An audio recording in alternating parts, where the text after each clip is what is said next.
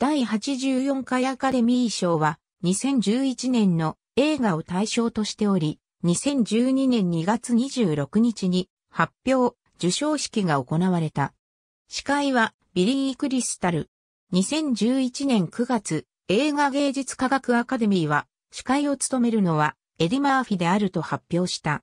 しかし11月、授賞式プロデューサーのブレット・ラトナーが降板したことにより、アカデミーは過去に司会を務めたクリスタルに交代すると発表された。第84回アカデミー賞のノミネートは2012年1月24日にサミュエル・ゴールドウィンシアターでアンピス会長のトム・シェラックと女優のジェニファー・ローレンスによって発表された。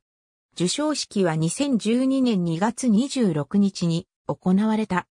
監督賞を受賞したミシェル・アザナビシウス、主演男優賞を受賞したジャン・デュジャルダン、主演女優賞を受賞したメディル・ストリープ、助演男優賞を受賞したクリストファー・プラマー、助演女優賞を受賞したオクタビア・スペンサー、外国語映画賞を受賞したアスガル・ファルハーディ・フトジが受賞者である。特別賞を贈る第3回ガバナーズ賞授賞式が行われた。プレゼンターパフォーマー、インメモリアムトリビュートは司会のビリー・クリスタルがプレゼンターを務めた。ジャズ歌手のエスペランサ・スポルディングがルイ・アームストロングの曲、この素晴らしき世界を南カリフォルニア児童合唱団と共に歌い、2011年から2012年初めにかけて亡くなった映画業界人の追悼映像が流された。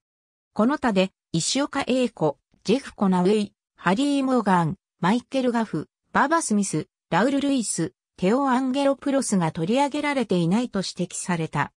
2011年6月14日、アカデミー会長のトム・シェラクにより、以下の部門での規則が変更になったと発表された。今回ノミネート以前に1億ドル以上を売り上げた作品賞ノミネート作は1本のみであった。